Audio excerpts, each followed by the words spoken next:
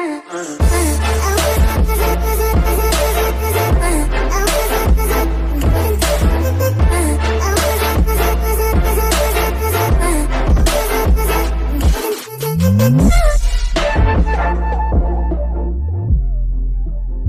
What's up buddy how are you today? I hope you're all doing well. If so then let me know in the comment section. And i am back with another interesting final part of deku teleported into fairy tail x dxd harem. Okay guys so without further wasting time let's get into the video. And if you haven't watched the first part then you can check out our channel for first part. And i will also provide the link in the description. So let's get started with the video. Make sure to like the video and subscribe to our channel and press the bell icon for the latest notification. Till then take care. Bye bye and see you guys in the next video